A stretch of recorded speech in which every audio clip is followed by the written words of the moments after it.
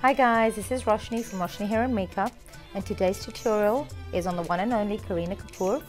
Bollywood is a huge influence. It plays a huge and prominent part in our society, in our Eastern society, as well as the Western.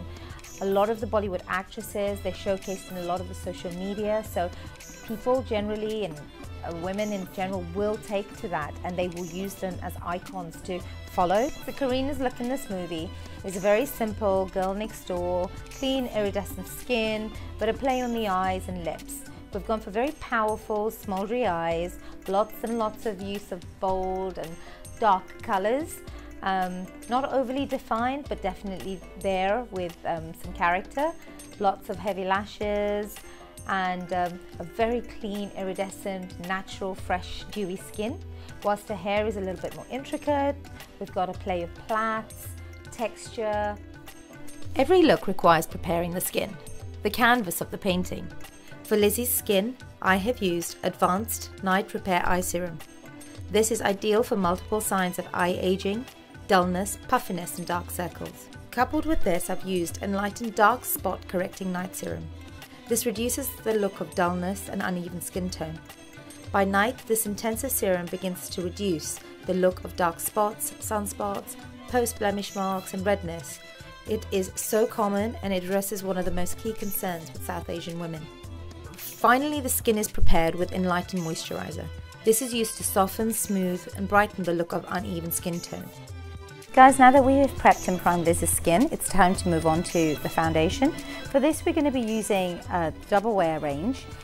I absolutely love this. Number one, it comes in 31 shades. It's great because I know that there's going to be a shade out there for you. And secondly, with the movie, the look is very fresh, very clean, but flawless at the same time. So the skin is nice and ready and the foundation will just glide on. The great thing about the double wear is it has the longevity. You know that you're going to be able to wear this the beginning of the day and it'll last for at least 15 hours and you're going to look absolutely flawless. Having used the primer underneath as well, you still get a very fresh and dewy look. So it's not looking too matte. I'm going to move on to the concealer just to cover up areas under the eyes or anything around the nose or any dark pigmentation that she may have. Again, this has got a variety of different shades. I am going to go for a shade slightly lighter than the foundation. The reason why I'm going to do this is it's just going to allow me that area on her face where I can really make the eyes and just this eye area sort of pop out and um, sporting the look that we are going for with Bajrangi Bhaijaan and uh, Kareena Kapoor. What I absolutely love about the double wear concealer is its fluidity. It gets into all of the fine lines, yet the consistency of it, although being so creamy, it actually, it's got really good pigmentation, so a little bit of it goes a very long way, and you can actually see the difference between the left eye and the right. If you've got any puffing or sort of the dark circles, what I would suggest and recommend is going for a slightly darker concealer and then use the lighter one on top. With this look in particular, I think the ros rosy cheeks, a blush look is so important. For this, we're going to be using the Estee Lauder Pure Blush. It's a powder finish, which actually works very well. So you've got the skin that looks very iridescent and glowy, and then you've got the cheeks that look blushed and almost a flushed look. So I'm just going to apply a small amount using a powder brush.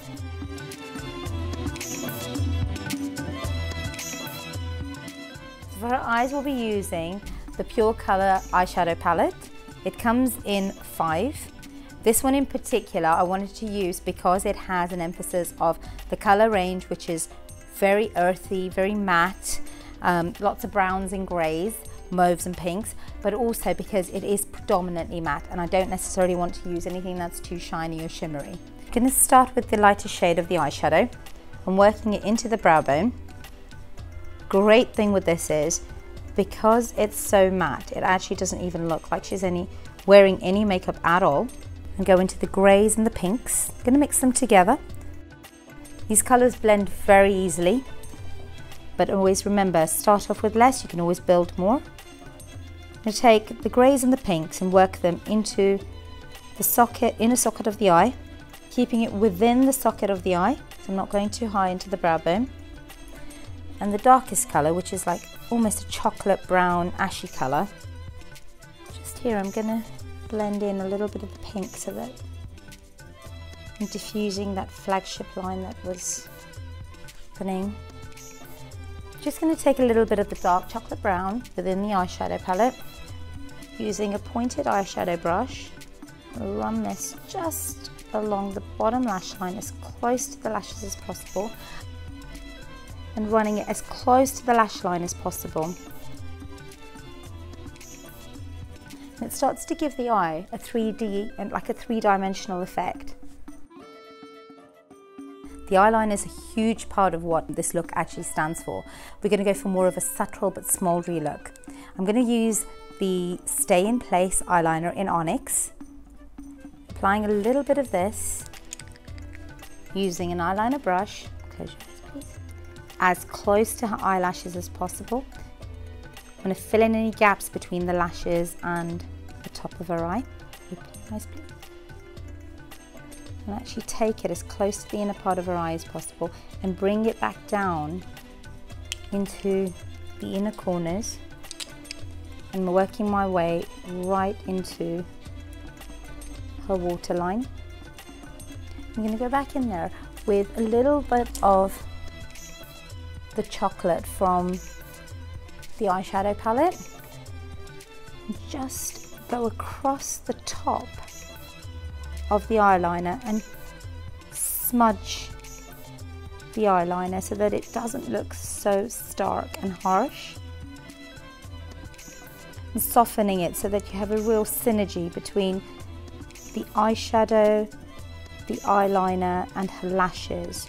Whilst the eyeliner is wet, I want to blend it through using the chocolate from my eyeshadow palette just to really smudge it through and soften it.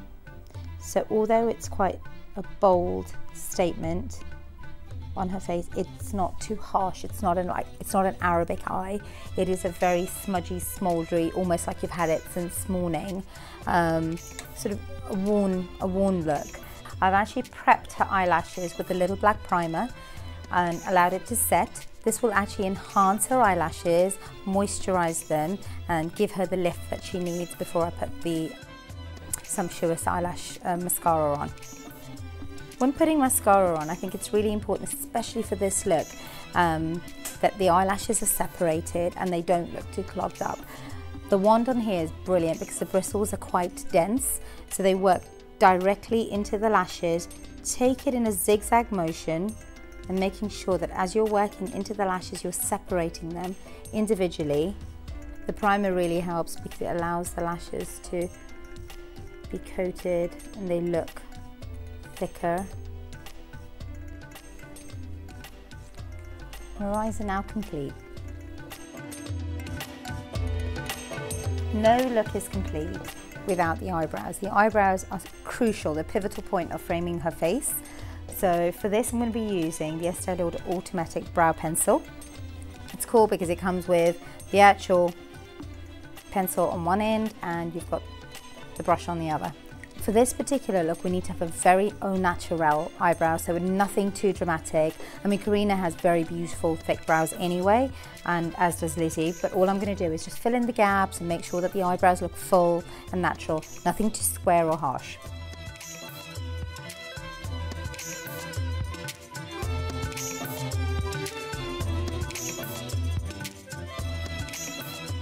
Complete the look now, we're going to work on her lips. Kareena is known for her nude lips and very big and bold eyes.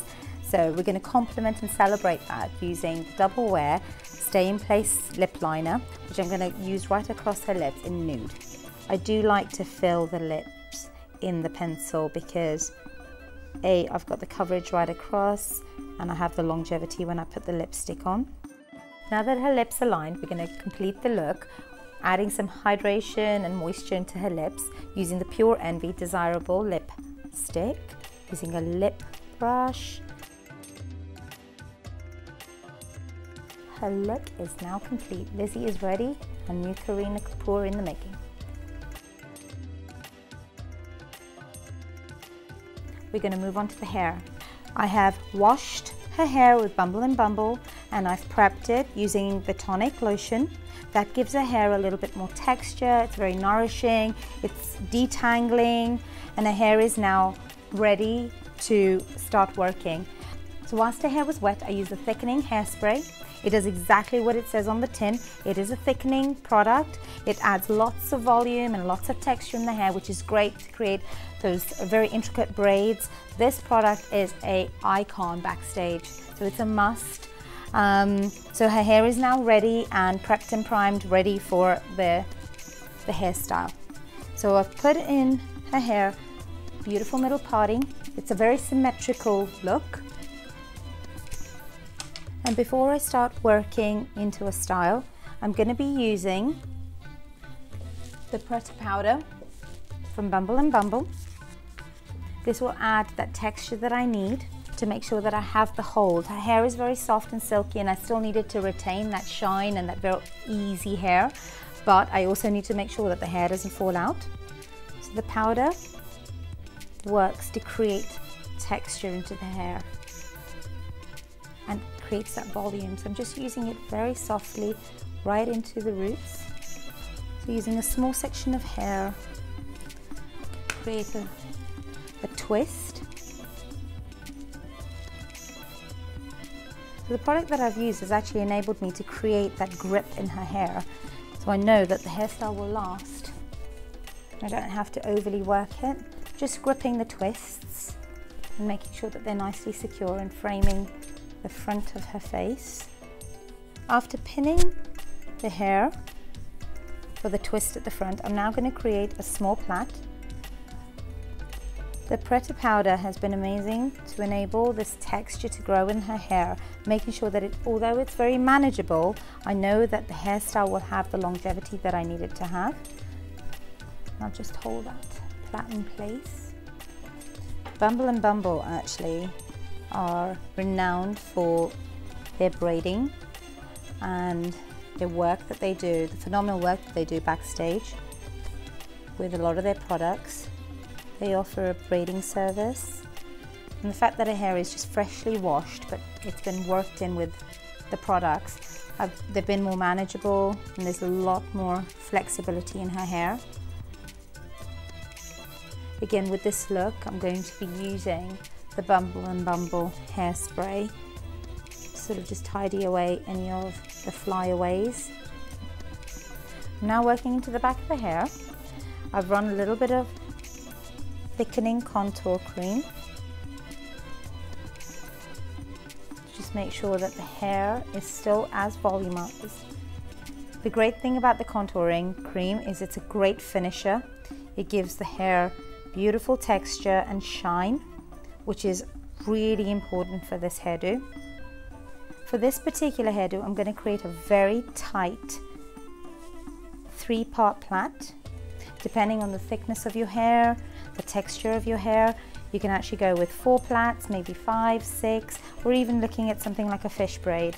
To tie up the braid at the end, brush the ends through to make sure that there aren't any tangles the products that we used earlier, specifically the tonic, will ensure that tangles in the hair are much easily managed. I'll now finish the hair using the BB Demode hairspray. Spraying this across any flyaways. Now that the hair is done, I'm just going to finish off to make sure that I add some sheen and gloss to the hair using the Bumble and Bumble Thickening Contour Cream giving the hair lots of texture but giving it a shine so that it looks really healthy running it right through to the tips.